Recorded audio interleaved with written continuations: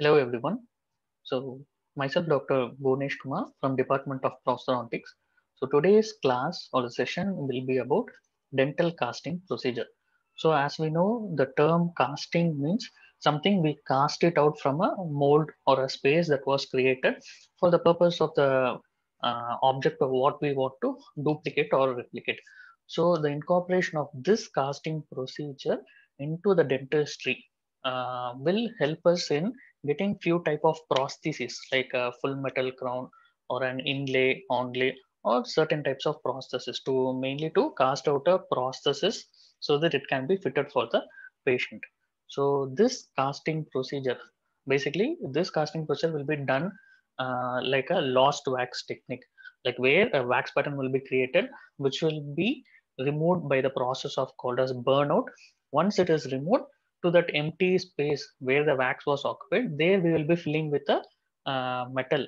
Then once this metal gets solidified, we trim and finish the process and use it for the particular patient.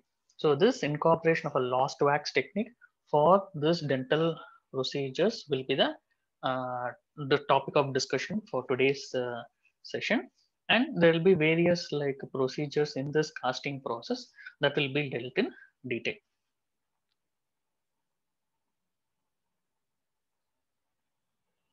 So the contents for this um, dental casting procedures will be will encompass introduction and definition and what are the casting procedures. We have a, fab, a wax pattern fabrication, then spruing of this wax pattern, then investing the wax pattern. Then once it is invested, the burnout was the next process where the wax will be like completely burned out. Once the wax is like removed by the process of burnout, you will get a mold space. So in that mold space, we will be casting so casting is the process by which the molten metal is casted into that mold space. So once this metal gets solidified, we'll be retrieving this uh, casting that was solidified. Once the casting is retrieved, we will finish and polish and use it for the purposes that we intended to do. So coming on to a basic introduction about like casting. So casting is the most widely used methods for fabrication of mainly this metallic restoration.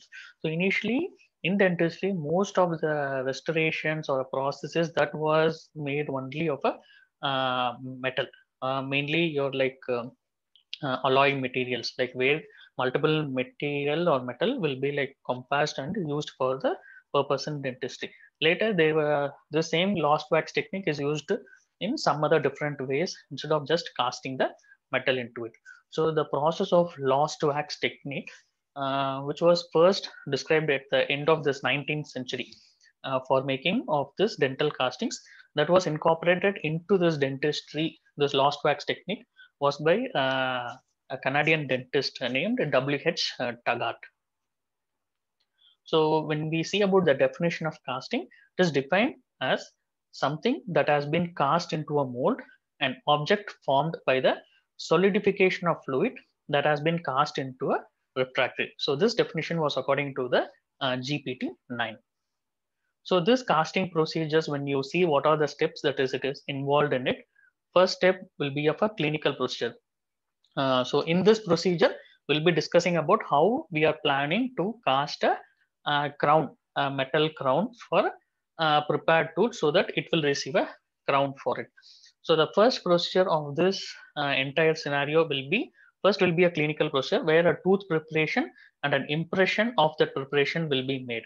After that, everything that follows till we give a metal crown or a crown for that prepared tooth will be of laboratory procedures.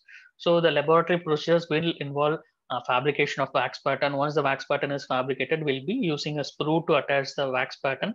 Once the sprue is attached to the wax pattern, we'll be mounting it on a crucible. So once the, the whole um, set along with the wax pattern sprue is mounted over your crucible, we'll be using an investment material to get an investment to get a mold over which once the mold is like ready, we will place the whole setup. Once the investment material sets, we'll place the whole setup into the casting machine.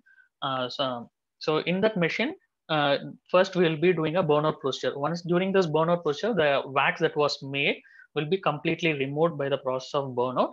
Then you will get a molten space in that molten space we will do a procedure called as like casting where a molten metal will be casted into it. Once it solidifies, we will remove that solidified um, metal, which will come in the shape of the processes that uh, by which the, we gave a wax pattern. Once it is like recovered, once the molten uh, process, uh, once it is, gets solidified, once we recover it, we will finish and polish it. So these are the lab procedures that we'll be seeing. So just uh, just about this clinical procedure. So in this uh, slide, you can see um, we are planning to we are planning for a prostheses in the uh, missing region. So we are planning to give a three unit fixed partial denture where they have prepared your premolar and your molar where they will be replacing your uh, pontic uh, molar will be replaced. So once the preparation is done, we will then take a uh, impression, uh, putty light body uh, elastomeric impression will be made and a die stone will be poured over it so that you will get a cast out of it. So once with the cast, we can work it on in the laboratory sections. So once we get the cast, so once we get the cast, the it should be like sectioned. It's a separate die or a separate tooth or a set of tooth can be uh, sectioned to get a die. So once we get a die, die means a single tooth of the uh, cast that was made, mainly the prepared tooth, so that we can work on it. We can do a wax pattern very easily. So it undergoes like certain procedures like uh, ditching of uh, your die, then marking the margins till where your finish line was there, till where you should give a prostheses, and applying a die hardener, die spacer, die separator. Afterwards, we will proceed for the process called as wax pattern fabrication. So coming out to the wax pattern fabrication, this is the first procedures when you when this when you start speaking about your casting process, fabrication of wax will be the uh, initial step or the starting or the first procedure of your casting of your inlay or a crown or whatever process that you are intending to do with the help of this lost wax technique. With this will be done with the help of dental waxes. You have a different type of waxes uh, like an inlay wax, uh, modeling wax, and also for your wax pattern wax for your uh, fabrication of your crown or even for you have a different type of waxes for fabrication of your um, removable partial denture, cast partial denture for those kind of different waxes are available. So you will choose which wax you are planning to use. Either you're going for an inlay wax, or if you're fabricating inlay, or you're going for a, a conventional waxes. So this wax pat pattern fabrication can be of different types.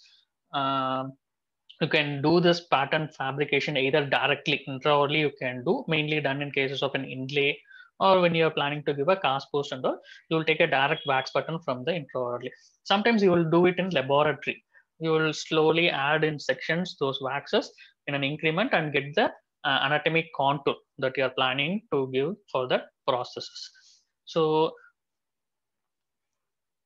once you're done once you're done with your wax pattern fabrication once you, you're do, doing it for a, a three unit fixed process or an direct intraoral prostheses or when you're planning to do a wax pattern for your like inlay or a complete coverage count once the wax pattern is ready you should then proceed for the next step like uh, assembling assembling this whole uh, unit that is your like wax pattern with your sprue everything into a casting ring and casting crucible. You should assemble in a separate uh, uh, step by step so that you can pour your investment material to take it for the next procedure. So before going into that we'll just uh, i'll just show you what is a casting assembly. So the casting assembly basically contains a base that is your crucible former over which with the help of your sprue you will be mounting your wax pattern over it. So once this wax pattern is mounted or basically picked up by your sprue former, it will be mounted over a crucible former. So once these three things, your crucible former, sprue former, the wax pattern is ready and set, you will be encompassing this whole thing with the help of a casting ring, which was lined by a uh, certain type of liners. You have different liners, each will have serve as uh, different purposes. So using a ring liner, you will be placing inside it inside your casting ring, and this whole setup is cost uh, whole setup is termed as your casting assembly. So first thing, once the wax pattern is ready, next thing you will go for called as a sprueing. So sprueing is the technique of placing the sprue to the wax pattern that you fabricate. So as such, what do you mean by sprue? Uh, sprue, when you term, it is the channel for elimination of wax after the burnout and also it provides a space or a pathway for the molten metal during your casting. So this is your wax pattern for a full metal crown. full metal or some metallic process, you have fabricated a wax pattern. So once this wax pattern is done, you will be attaching a similar kind of uh, length rod like uh, uh, wax which will be attached to this so that why because so through this once this wax is placed once you pour a investment material once it sets so the wax what the wax which you use for the fabrication of your crown and also this pathway uh, should be eliminated. So the wax what you place used for the fabrication of crown should be eliminated. For that you should create a path. So this sprue will help as a channel for elimination of wax after burnout. And also once the channel is ready, once the wax is completely removed, this channel will stays so that your molten metal can be forcefully uh, casted into the space through the channel. So basic requirements of a sprue will be, uh, it is used as a handle to remove the wax pattern. So once your wax pattern is made, using this uh, uh, sprue, you will place it over the fabricated wax pattern. You can easily remove, it will act as a handle for the removal of your wax pattern. And to form a mount for the wax pattern, and you can fix the pattern, you can fix the pattern so this is the pattern. You can easily fix it over the space or you can easily fix it over the crucible former in your casting assembly. It also creates a channel for elimination of wax during burnout and also it facilitates the flow of the molten metal into the crucible to into the mold. So this sprue, when you see there are like different types of sprues are available and you have like uh, sprues that are made with wax, you have sprues that are made with plastic, you have sprues that are made with metal. So wax sprues are preferred for most of the castings because during the burnout process they will melt very easily and it will easily escape from the uh, casting assembly. When you use a plastic sprue or a metal sprue uh, once your like uh, wax that was coated around your plastic or a metal sprue gets evaporated they will stay inside your uh, casting assembly. So before um, your like um, casting procedure you should invert your casting ring so that the plastic or the leftover metal that was used for sprue should be removed. If you forget to do that procedure, it will it will uh, result in a defective casting. So most of the time, a wax sprue is ideally preferred. So the factors that affect the sprueing are the diameter of sprue. Your sprue should be having a particular diameter and the position of sprue where you're planning. If this is your crown, and which position or which angulation you're planning to attach your sprue matters. If you are placing it in a straight way, high chances the molten metal that will be flowing through this direction will result in some type of porosities. So to avoid that, you will, should place at an angulated one. And so position of your sprue matters and attachment, how you are planning to attach when you're having a multiple uh, wax patterns together casted as a single unit and what direction, what angulation you are planning to attach your sprue and length, how much length you are going to use your sprue. So coming on to the sprue diameter, the diameter of sprue should be equal to the thickest portion of your wax pattern. So this wax pattern thickness will vary depending on different type of process that you're planning to fabricate. So in that case, your sprue diameter should be equal to that of the thickest portion of your wax pattern that you're uh, use or that you have done for that particular process. So the ideal recommended sprue diameters when you um, think or when you're planning for a casting of your molars, it should be around like a 2.5 mm, that is 10 gauge. Or when you're going for a premolar, it should be around like a 12 gauge of like 2 mm uh, thickness when you're planning for a premolar. When you're going for a molar metal ceramic, you should go for a 2.5 mm. So coming on to the sprue position, the sprue should be attached to the bulkiest portion of your wax pattern and it should be away from your margins and also it should be away from your occlusal contact.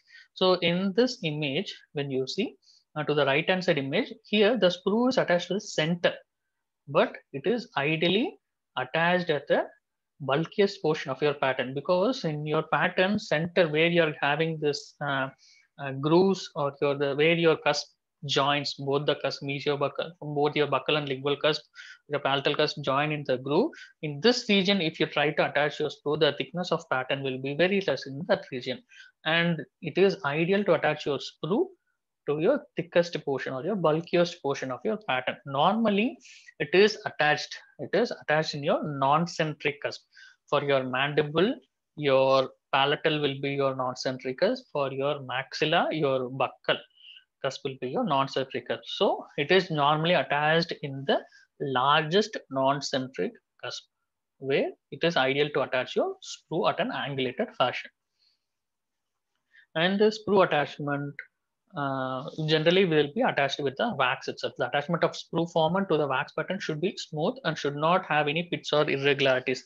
So where you're when you're attaching your sprue to your wax pattern, it shouldn't have any kind of like irregularities or pits or anything. It should be a smooth transition from your wax pattern to your sprue and your reservoir and all. And should be attached, as we said, attached to the portion of the pattern with the largest cross-sectional area and sprue direction should be uh, directed away from any thin or delicate part should be directed away from the margins or when you're feeling this region with very less thick so high chances that portion might chip off or might break once you retrieve your casting so in that regions you should avoid attaching your sprues and it should be attached at an angulation of 45 degrees. It should never be attached at an angulation of a like a perpendicular attachment should be, it's not advisable. It should not be attached at a level of a 90 degree because once you when you gush your molten metal into the channel at an angulated one, this region will become a hotspot once your metal starts becoming solidification. If this region become hotspot, so high chance of getting a porosity in this region. Once it is like attached in angulated fashion of like a 45 degree, once the metal is like flowing, it will easily reach all the region, all the mold space it will reach. Once it is like this, high chances it won't reach in this fashion. Okay, so it always should be attached at an angulator of 90, 45 degrees, not at 90 degrees. and sprue length. So you, when you're planning for a casting of a single metal or you're planning for a uh, when you're planning for a multiple unit as a single casting, you have different uh, guidelines for the sprue lengths to be chosen. And mainly it also depends on the type of investment because you have like three different types as you know. You have a gypsum bonded investment phosphate bonded investment ethyl silicate bonded investment. Ideally you'll be using either a gypsum bonded investment or a phosphate bonded investment for your casting of your crowns or for a casting of your like uh, uh, inlays depending on the type of metal you're planning to use.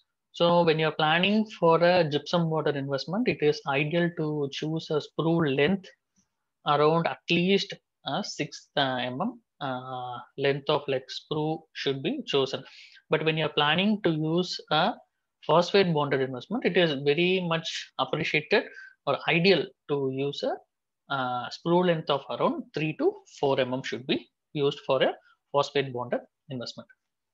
And coming on to reservoir. So what is reservoir? In the most of the pictures you would have seen, you will have your wax pattern and you will have a sprue attached. So to this wax pattern, once you're planning to attach your sprue near this neck region or where your wax pattern is like this and your sprue is getting started, from 1 mm away from this wax pattern, you'll be seeing one round bulb, which will be a bulb-like, it will be in a bulb-like fashion around your neck of your uh, wax pattern.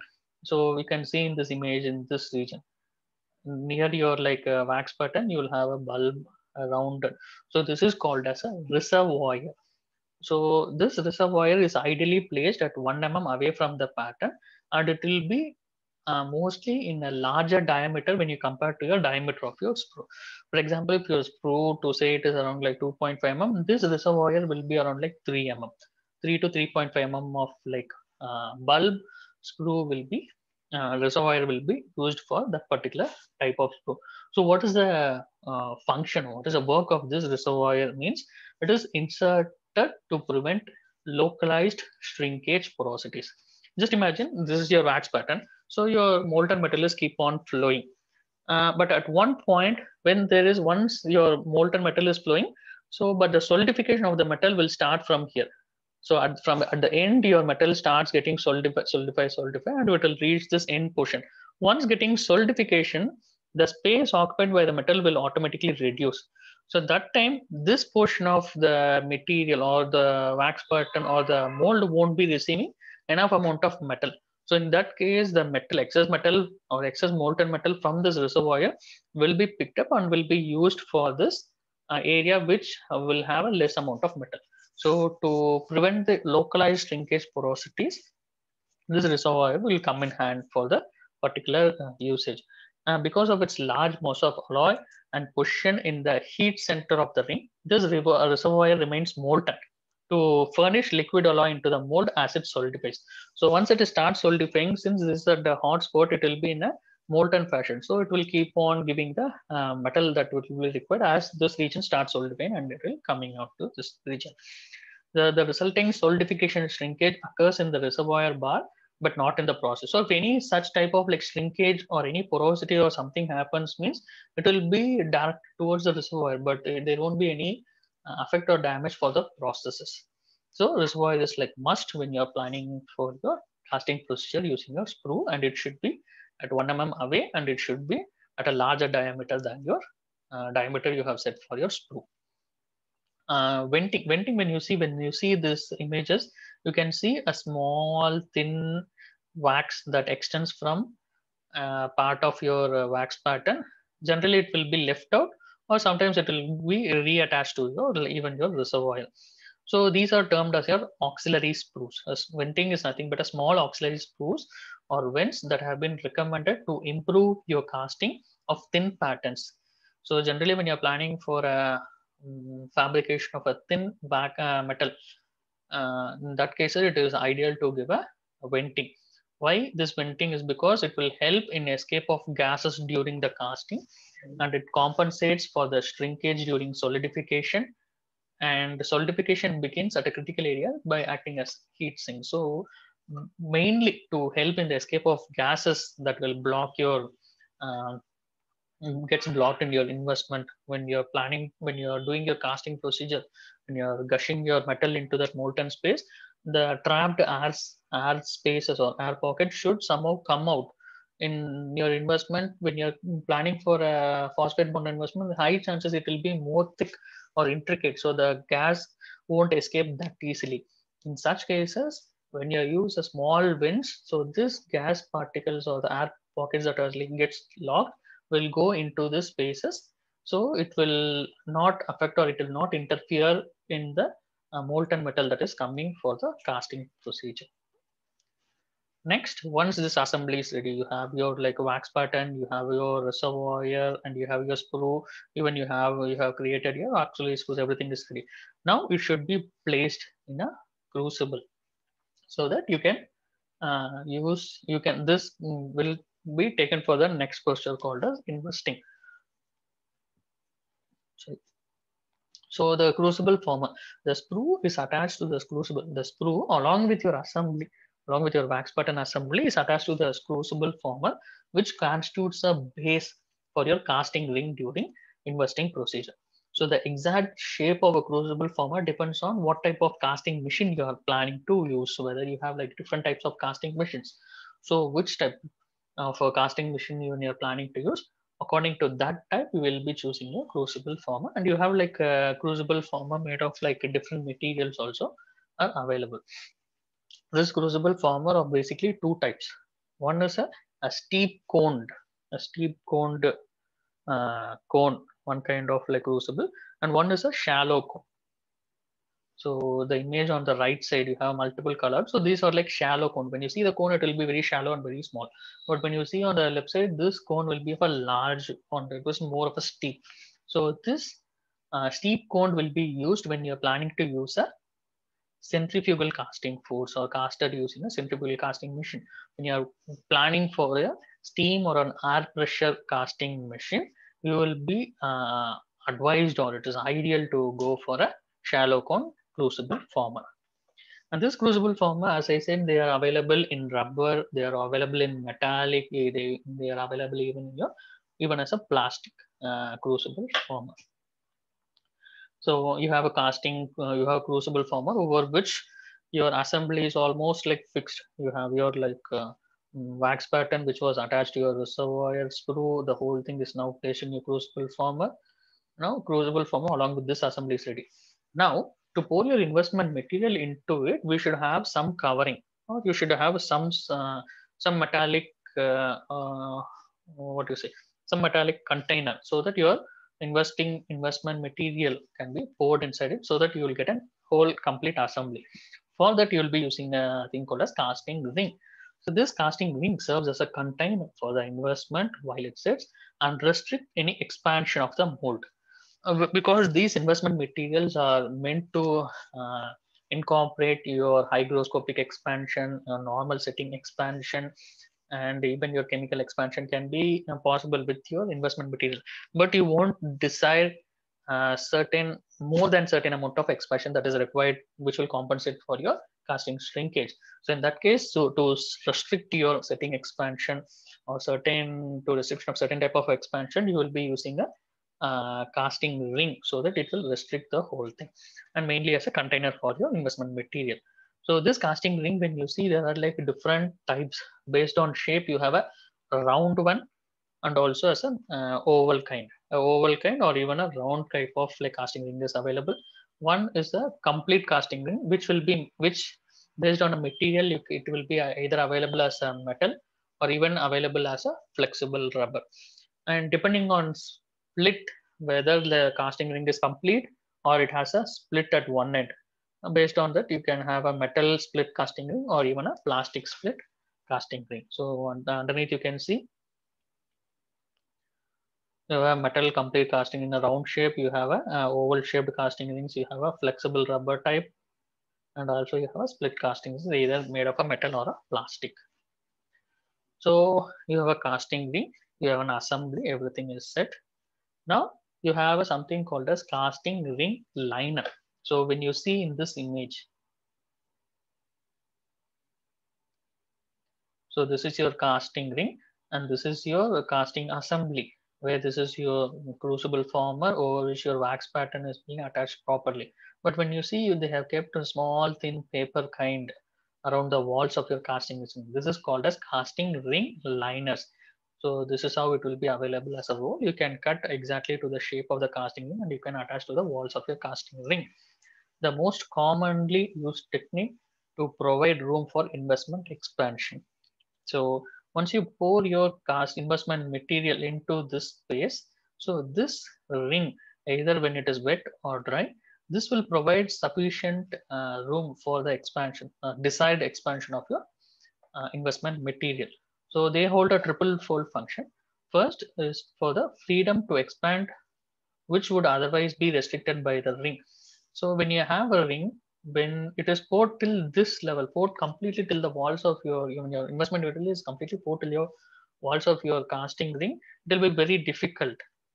So uh, it will be very difficult to get a sufficient amount of expansion. So in that case, it is ideal to use a casting ring liner. So it will give a room for the or it will be give a freedom for the expansion of the investment material and also helps to offset the contraction of the more rapidly cooling ring when a gold alloy is being melted.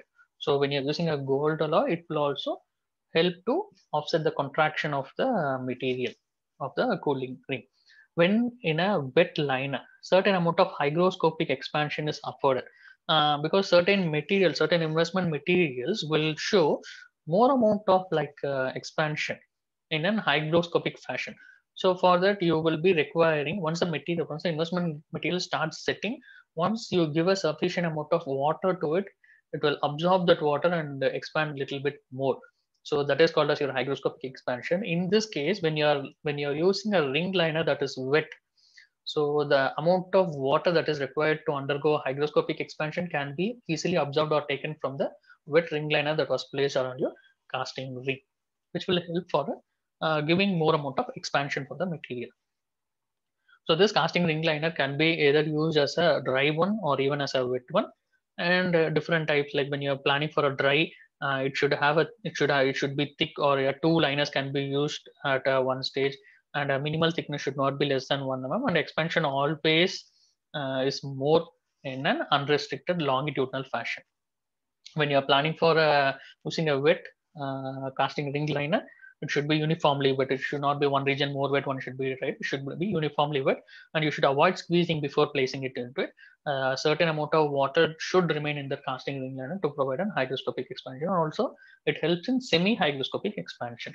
So when you speak about the casting ring liner types, you have a asbestos, a cellulose, and your uh, ceramic ring liner. But most commonly, cellulose ring liner is what we use for most of the um, casting procedure. So now comes your wax pattern crucible former attachment. So this is your um, crucible former over which your uh, wax pattern along with sprue and reservoir is attached to your steep sided cone over which you will be placing your casting ring.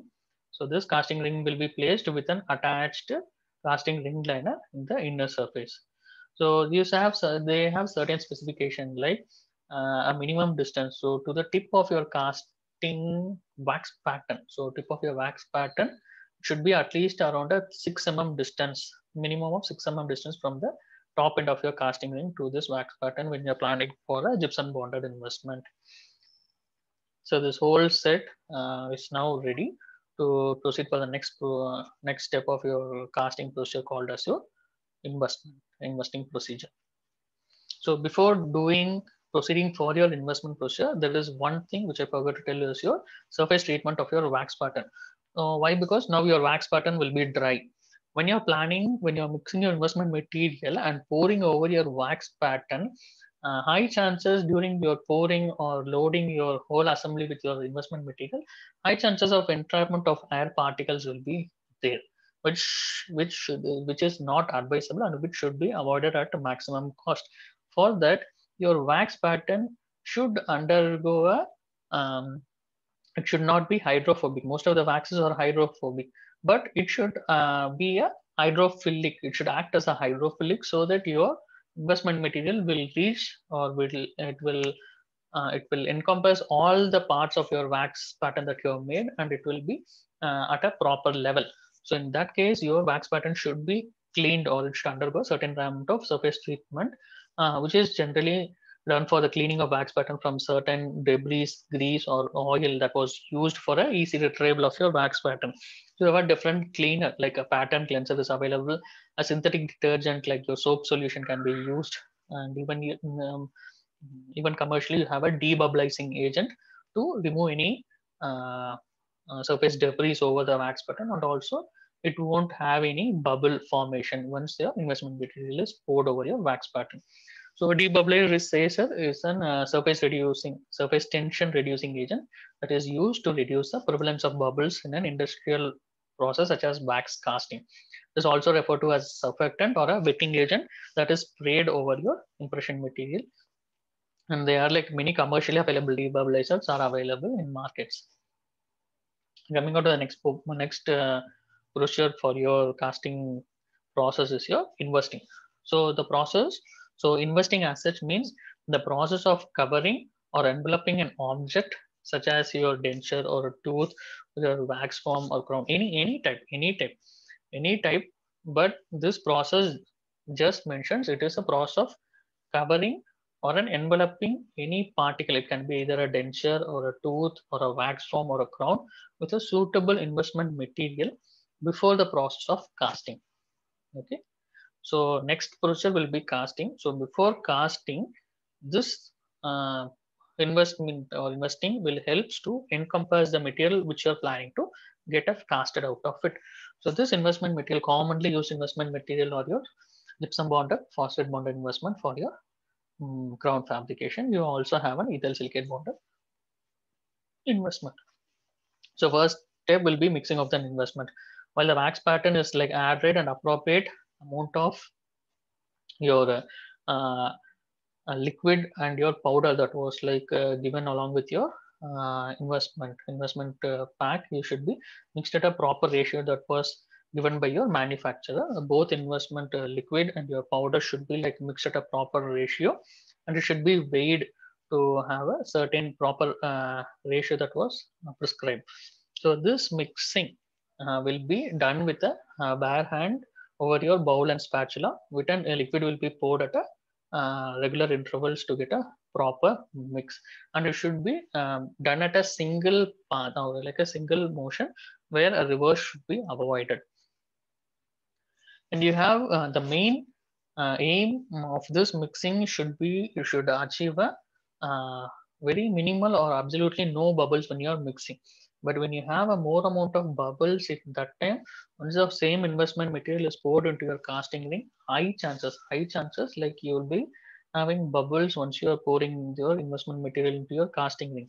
So to avoid that, you can either use your vacuum investment machines are available where you have your container.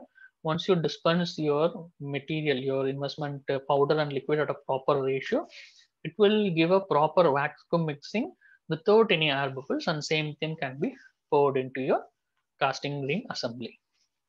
So it is like poured into the ring from a height of 20 to 30 centimeter at a slight angulation from the bottom of the top of the ring.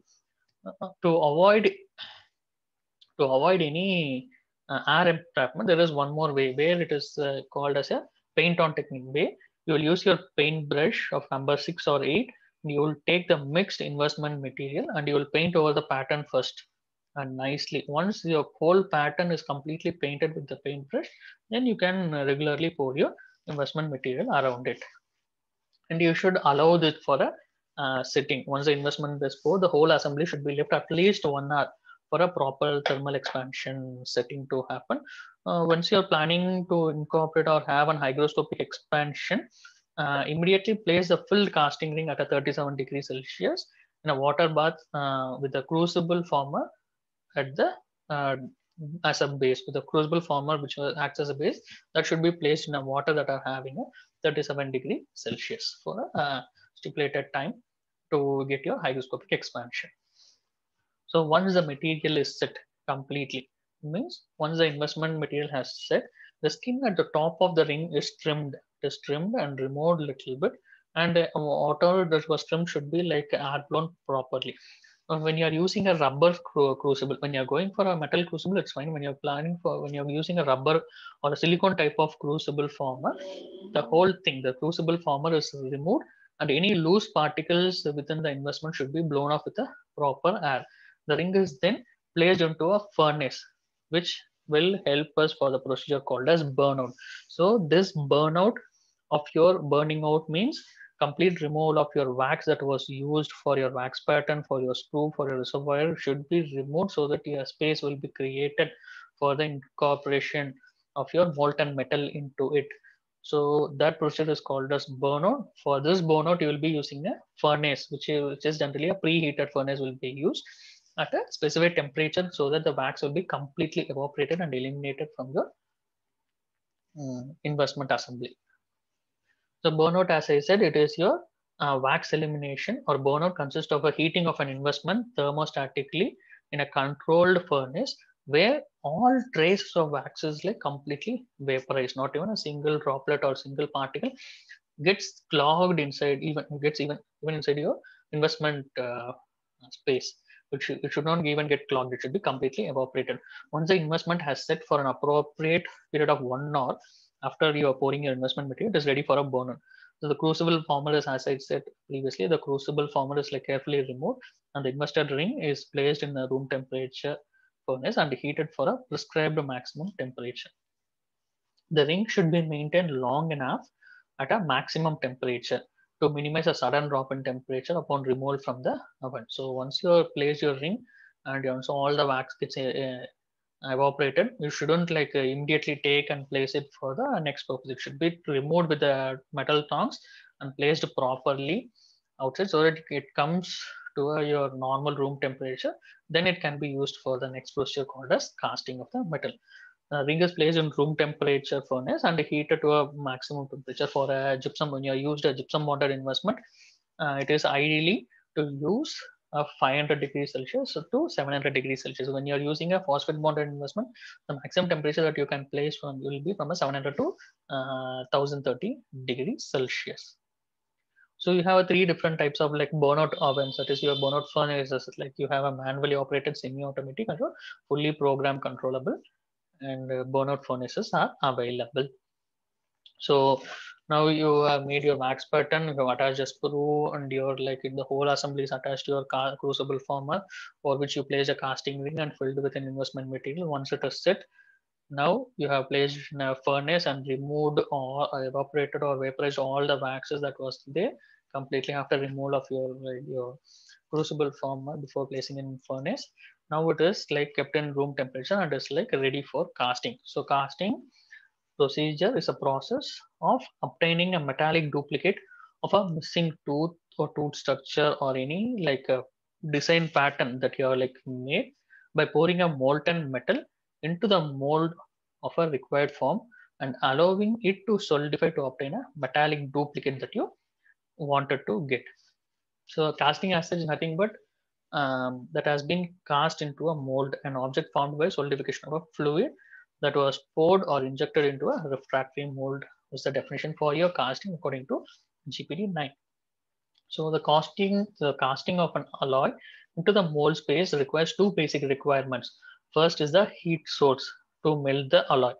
The alloy what you have placed, first you should melt it.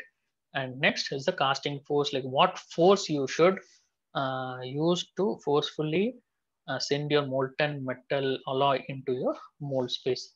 The heat source that we spoke uh, can be um, either through a torch melting or electricity. When you are planning for a torch melting, you have your gas air torch, gas oxygen, oxyacetylene torch, or hydrogen oxygen generator. Different types of like uh, heat source when you go for your uh, torch melting. So these are like different torches. First, you will have a gas air torch. Second will be your gas air tip.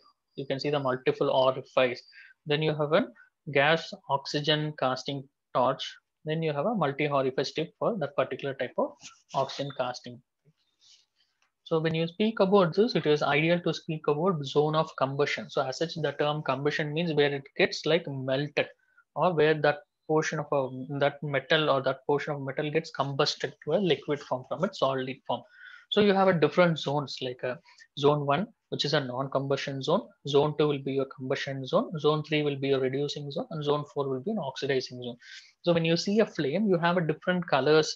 Your outside you will have a dark one, then you will have a pale green one, then you have a dim blue one, and everything.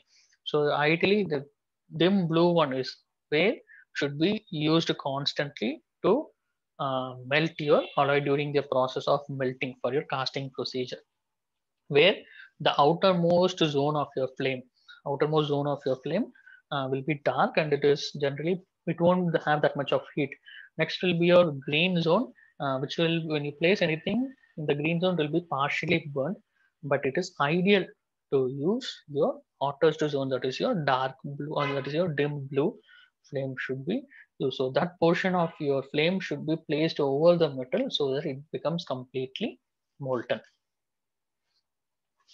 So you have your, as I said, you have your gas air torch, gas oxy torch, and your oxyacetylene torch, uh, which will be used for different purposes.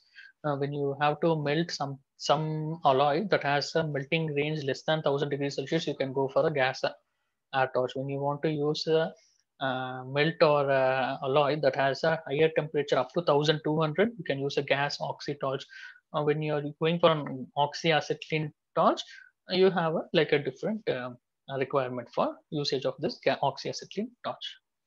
So this is your gas air torch and this is your gas oxy torch. Here you can easily appreciate the blue flame that is that inner blue flame that should be required or used for the melting of an alloy so the difference between your torches and your electric melting, you have your uh, torch melting also, like as I showed, and you have an electric melting also.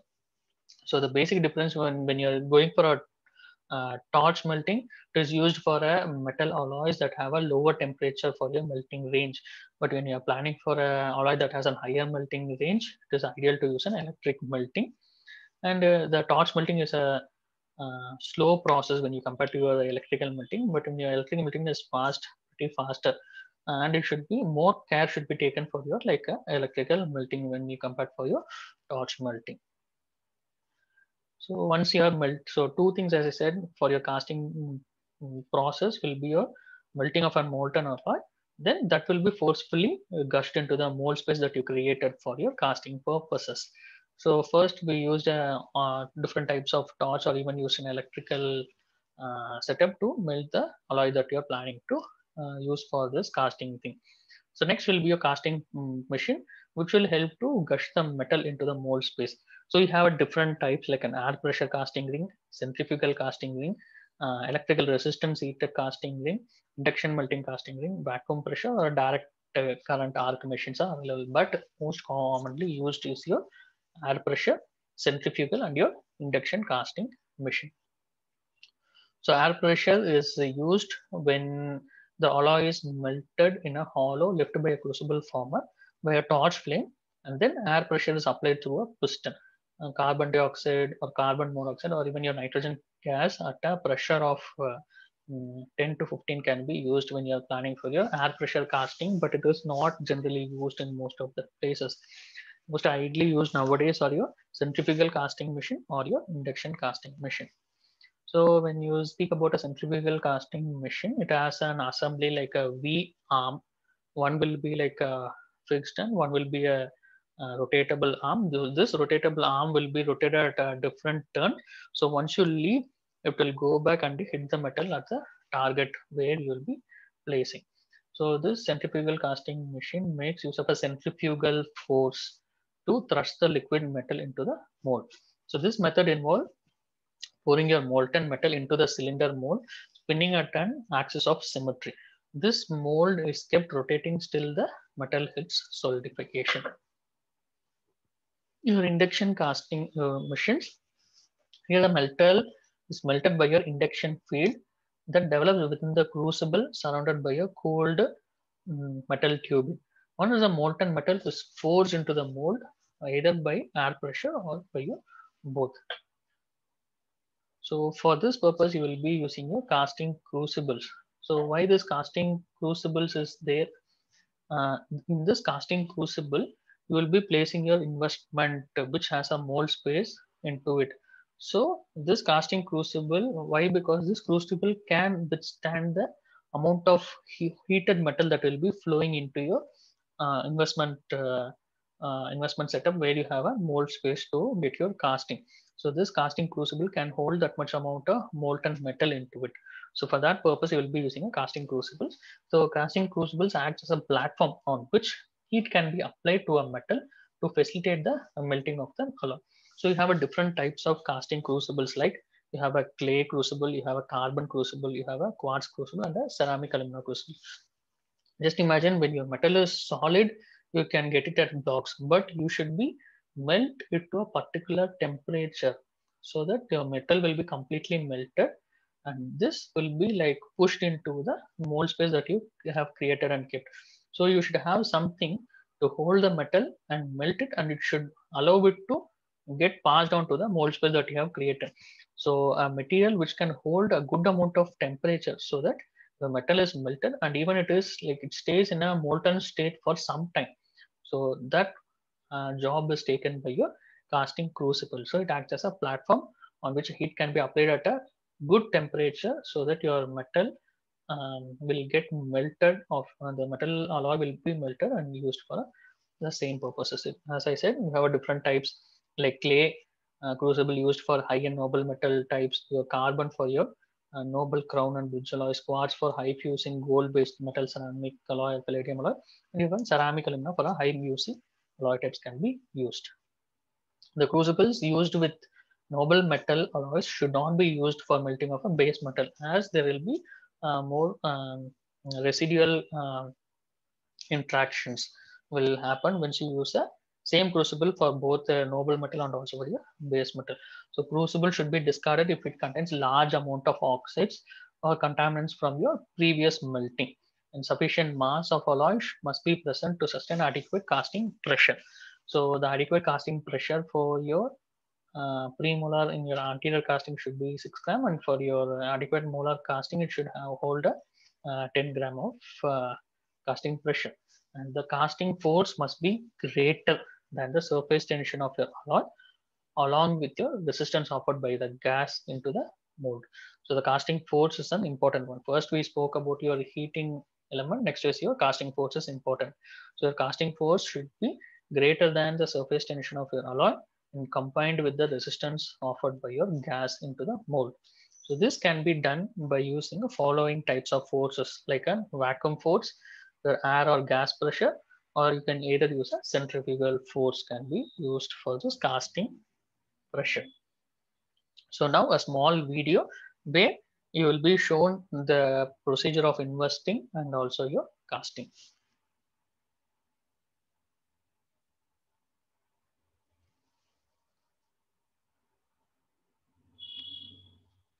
So this is your main aim from getting a wax pattern into your uh, metal or a process that you are intended to fabricate with the help of your casting procedure. So first, as I said, investing where your wax pattern with a material that can accurately duplicate its shape and your anatomic features. So once your invest, uh, so this is your wax pattern attached to a sprue crucible. Once it is come, this setup is there, you will go for next procedure called as a burnout, where a removal of the wax pattern is completely removed and you have mold space. Next will be your casting, where introduction of molten metal into this previously uh, space that is available and you will get a final process. So as we said, first will be your uh, investment investing process. So what are the basic armamentarium required when you see? You need a sprue former, a casting ring, a crucible former.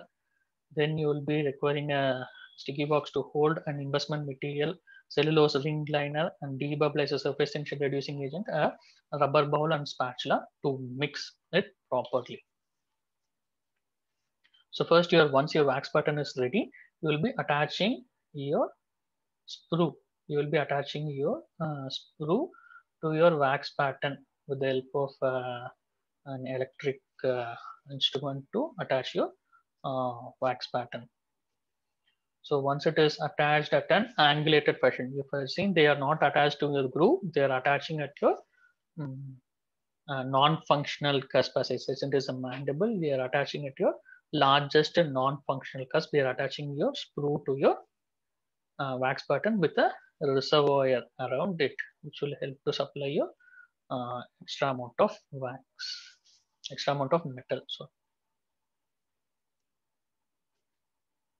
so once the setup is ready, now you will take this whole assembly for next procedure called as your attaching it to your um, crucible former.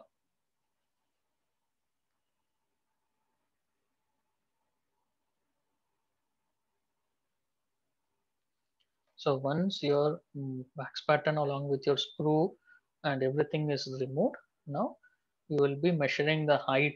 As we said, you should you should have a particular height, and it should be uh, with the help of your sticky wax or any kind of wax, you can attach this assembly which have your wax pattern along with your sprue to your crucible former. Here you can, see they have used a medium steeped crucible former, not a shallow one. So with the help of electric heating, they are heating and melting the wax and the whole set is like now ready for the next procedure where we will be using a casting ring. So as I said, they should around a 6 mm of uh, space should be present with the tip of your wax pattern to the height of your casting ring, which here they will be placing now.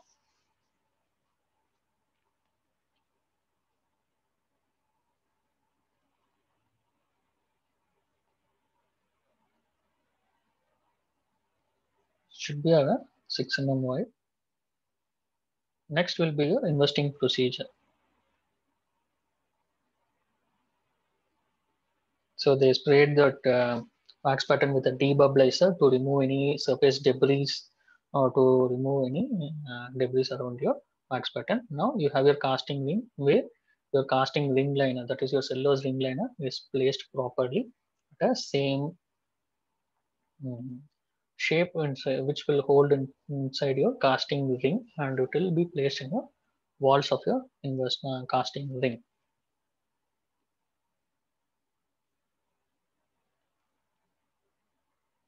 So now the whole setup is placed inside your uh, assembly. Now you can see your casting ring with your ring liner, with your sprue attached to your crucible former, which holds your wax pattern. Now you should mix your investment and. So the powder and liquid of your investment should be uh, mixed properly, either with a hand mixing or with a vacuum mixing this video will show you like how to do a proper vacuum mixing so the measured amount of like uh, uh, liquid the powder is taken in a container which will be now placed in your vacuum um, mixing machine initially first you will mix with your hand. Then you will attach the assembly to your vacuum mixer.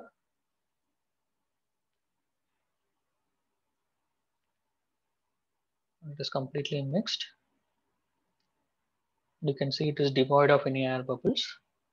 Now whole thing is like poured. Once you should pour at an angulation at a, as we said, it should be around like 25 to 30 centimeter above. Should place and pour at so that it slowly fills the investment variable will slowly fills the pattern of the sprue what you have attached in an even angulation fashion. Should pour till complete setup. You should allow it to dry. Once it dry, we will be allowing for our at uh, drying time period we give generally will be one hour. Once it is like dry, we'll be scraping at the top portion and removing the excess debris. Now your crucible former is removed completely. So you can see after your crucible former is removed, this is how your casting uh, investment along with your ring will look. Now your crucible former is detached. Now next procedure will be removing the wax that was inside. The next that wax, wax elimination procedure, as we said, it is termed as your burnout procedure. So for this burnout procedure, a preheated like uh, uh, heat preheated furnace is like uh, kept ready. Now you kept it at desired temperature. So the temperature will slowly increase from you saw it, it started from 194 till now it has reached more than 900. So the wax would have been like completely evaporated and vaporized. Now the whole setup is like uh, removed with the help of your tongs and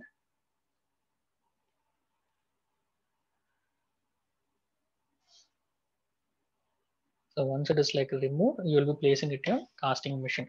So this is a Bego uh, inductive casting machine where you will be setting the this is your setup where you will be placing your crucible along with your metal inside in this place. You can see here the crucible is placed along with your metal. So this is your like uh, ceramic crucible that is ideally used for melting the metal and this region they will place your metal inside it. So our crucible along with the metal is positioned. It is tightened properly. So the metals are placed. So this is how your metal pellets will look.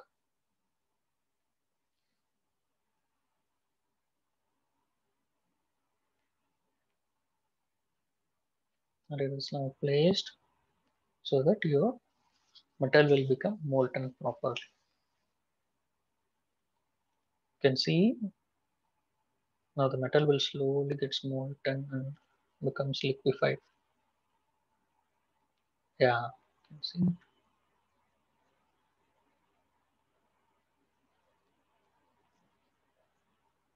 So now the casting ring, now the metal is molten and is ready. Now the casting is like removed and it is placed inside your induction casting machine so that the metal is like completely gushed inside into your molten space that was created. You can see it is spinning. So with the help of centrifugal force, the metal will be molten or like sent inside your casting ring. So you can see the molten metal inside your casting ring. Now you should allow it for the material metal to get solidified nicely. So once the metal gets solidified, you will be using a tong to remove this completely. First, you will be showing it in running water and makes it like uh, cold completely. Then using a electrical chisel, you will be removing or detaching your investment material so that your metal casting is like completely removed. You can see the same thing how we kept it was like completely replicated with the help of a metal.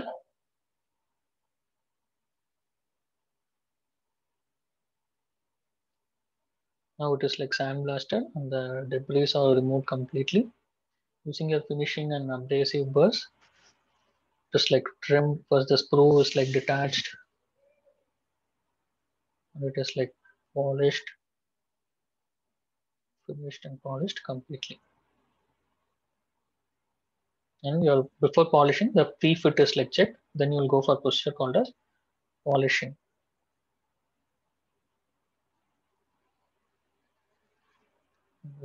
final done with them buffing. This is your polished one.